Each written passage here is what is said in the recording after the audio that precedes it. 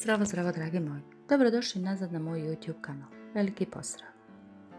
Jako je kada neko kaže pokušao ću opet. Znaš šta je prošao, ima hrabrosti živjeti iz početka. Kao da niti jedan pad nije iza njega, a bilo ih je bez kraja i konca. Kao da niti jednu povredu nije doživio, a doživio ih na tisuće. Jako je kada neko odluči ne odustajati.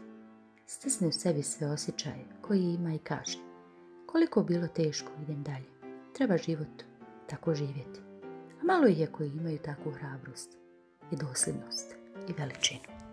Jako je kada nekome ne treba dokaz da će sve na kraju biti dobro, jer ima vjeri i ništa mu više ne treba. Ne mimo ilaze njega problemi, on od njih napravi remek dijelo svog života. Boljelo, ne boljelo, zna jednu stvar, neće boljeti manji kad se počneš žaliti i govoriti da ti je teško. Ima jedna tajna života.